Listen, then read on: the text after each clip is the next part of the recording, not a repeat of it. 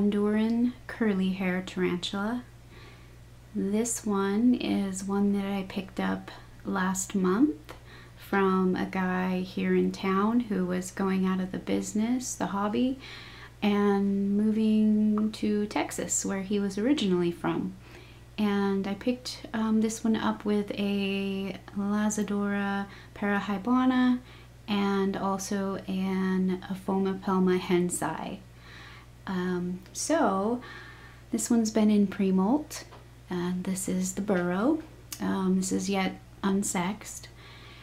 And I just discovered today that this little one has molted. So let's take a look inside the burrow and, and see what we can find.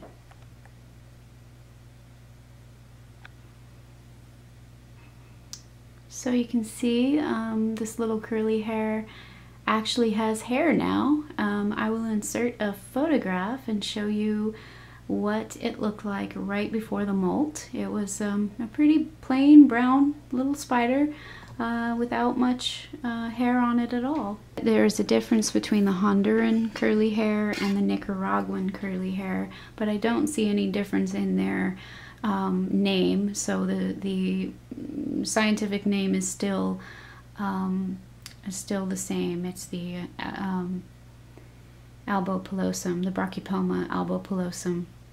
Only they distinguish it by saying Honduran or Nicaraguan, and the Nicaraguan has what appears to be thicker, curlier hair, and I do not have that that uh, tarantula. I have the Honduran form, Okay, I gotta be very careful. Reach in here, try to get a good angle, and not bump the camera and not scare the spood.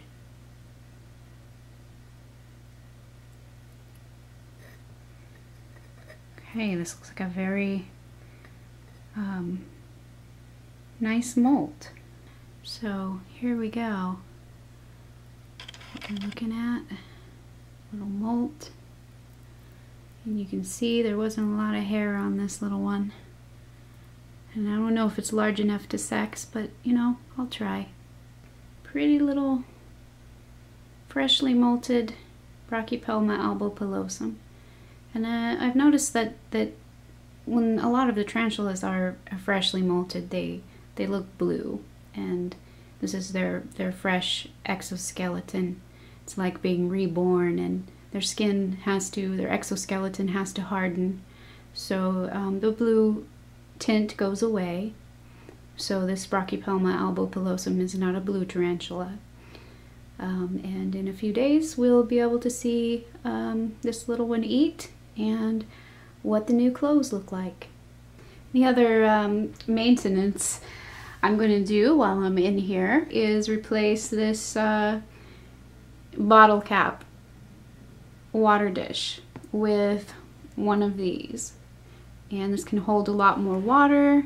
Um, it doesn't evaporate as much. And you know, as you can see, I am using a critter keeper.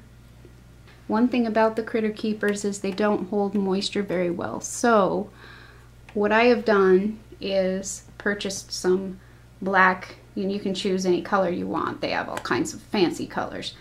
Duct tape. I have taped the top and I will show you that in a minute. Let's fill up this water dish here.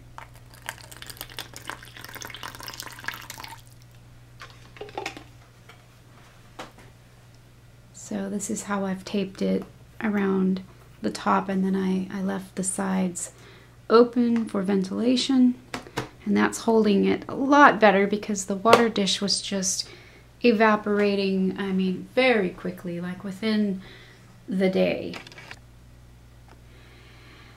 While we're looking at this cutie who's in recovery, I will do a couple shout outs. The first one is to Norvis Eight Legged Critters. They have a YouTube channel. They're almost to a thousand subscribers.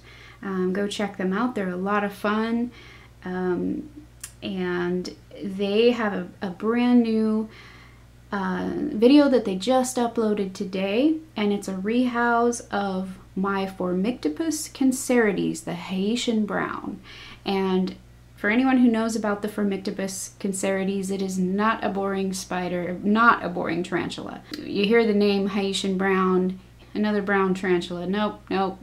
This one actually has a beautiful sheen to it and it is exciting, usually exciting. So go check out this, this rehouse of the Phormictopus cancerides at Norvis's site, Norvis Eight-Legged Critters. And I'm sure you're not going to be disappointed.